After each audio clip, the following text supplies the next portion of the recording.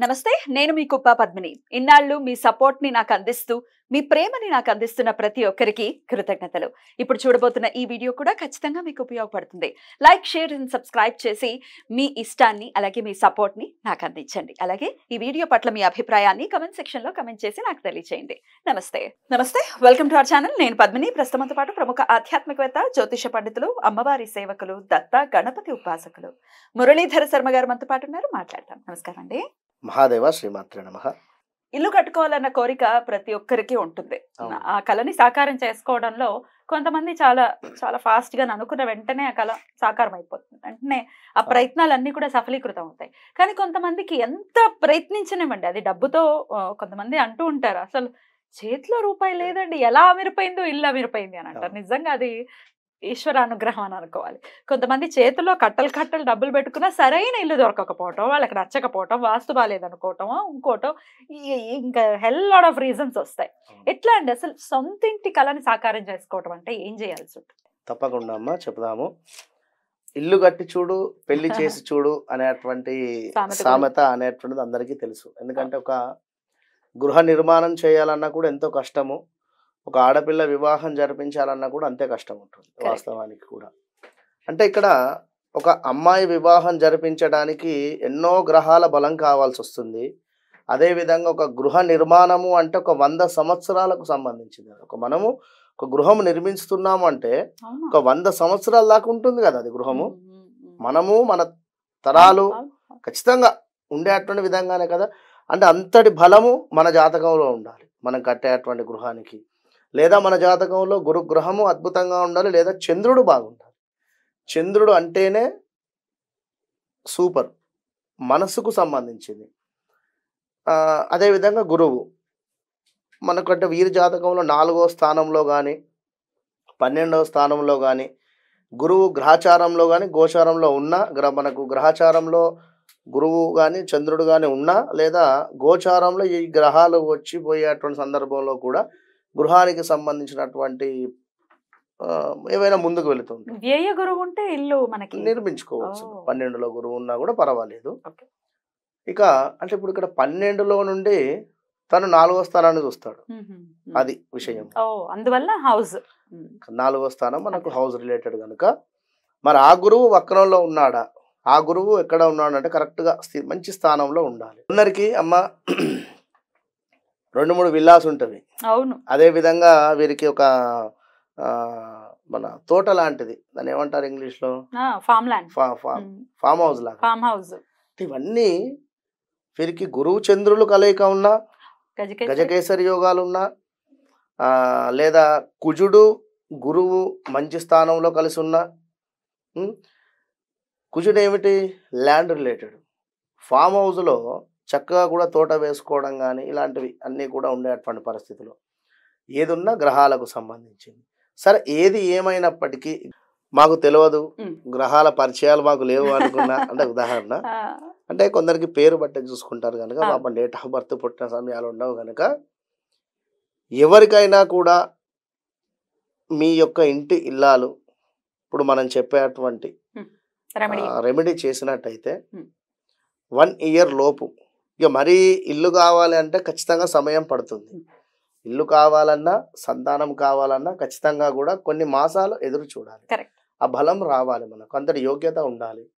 కనుక ఖచ్చితంగా కూడా వన్ ఇయర్ లోపు మీ ఇంటికి సంబంధించినటువంటి బీజం పడుతుంది చెప్పేటువంటి ఒక రెమెడీ చేసినట్టయితే. ఎట్లా అంటే ఎంతో నమ్మకంగా చేయాలి. ఇది అద్భుతమైనటువంటి రెమెడీ ఇప్పటి వరకు ఎవరు కూడా చెప్పలేదు నాకు తెలిసి. విన్నారా? Mm. కనుక మీరు దీనిని మనసు పూర్తిగా నమ్మకంగా పాటించినట్టయితే మంచి ఫలితం ఉంటుంది. మరి ఇది ఏమిటి అంటే మనకు గడప గౌరీ వ్రతము మనకు ఇంటి ముందు ఉండేటువంటి సింహద్వారం మీరు రెంటెడ్ ఉండనివ్వండి అపార్ట్మెంట్లో ఉండనివ్వండి మీరు ఎక్కడైనా ఉండనివ్వండి. ఎట్లాగో కడప అయితే ఉంటుంది. కనుక ప్రతి మంగళవారము లేదా శుక్రవారము. ఏదైనా ఒక రోజు మీరు అనుకోండి. వాస్తవానికి ఇది రథసప్తమి రోజు కానీ ఒక శివరాత్రి రోజు కానీ లేదా మనకు శ్రీరామనవమి రాబోతుంది. వస్తుంది. ఇవి ఆల్రెడీ రథసప్తమి అయిపోయింది మాఘమాసంలో. మనకు శివరాత్రి అయిపోయింది. మరి అయిపోయాక ఎందుకు చెప్తున్నారని కాదు. నవమి. ఆ నవమి ఉంది. ఎట్ ద సేమ్ టైం ప్రతి శుక్రవారం అంటున్నాం ఇక్కడ మంగళవారం అంటున్నాం. ఓకేనా. మహాశివరాత్రి మహాశివరాత్రి అయినప్పటికీ మాస శివరాత్రి కూడా అద్భుతమే.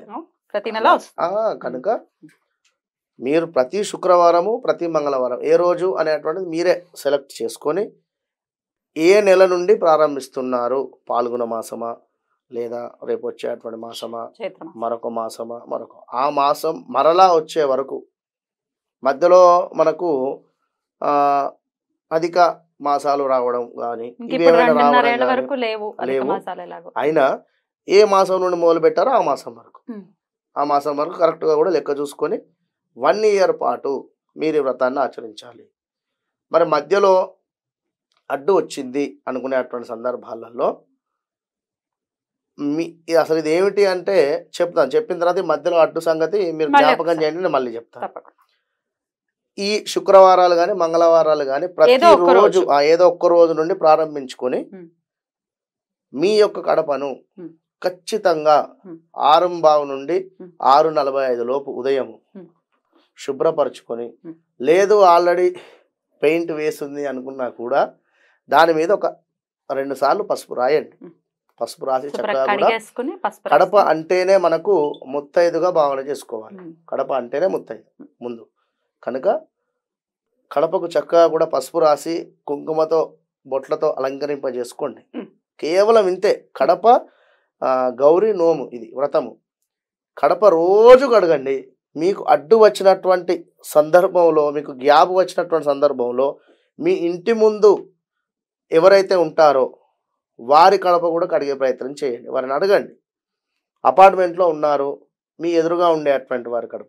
వాళ్ళ అది కూడా క్లీన్ చేయాలి క్లీన్ చేయి కడగండి మ్. వారికి అర్థమయ్యేటువంటి విధంగా ఇట్లా నోము నోముకుంటున్నామమ్మ అని చెప్పి చెప్పండి కుదిరితే మీకు ఇప్పుడు ఎట్లాగో నాలుగు రోజులు అడ్డొస్తుంది కనుక మీ చుట్టుపక్కల ఉండేటువంటి వారి నాలుగు కడపలు కడిగేటువంటి ప్రయత్నం చేయండి. హండ్రెడ్ పర్సెంట్ వారు ఒప్పుకుంటారు. కనుక కడప గౌరీ వ్రతం ఇది. ప్రతిరోజు మీ కడపను కడుక్కోండి. హండ్రెడ్ పర్సెంట్ వన్ ఇయర్ లోపు లక్ష్మీ దేవత మీకు ఖచ్చితంగా మోక్షం ఇచ్చి సొంత ఇంటి కలను నిజం చేస్తుంది అయితే మంగళవారం నాడు మొదలు పెట్టుకుని ప్రతి రోజు చేయాలి శుక్రవారం నాడు ఒకవేళ మొదలు పెడితే ఆ రోజు నుంచి ప్రతి రోజు వన్ ఇయర్ పాటు. One year.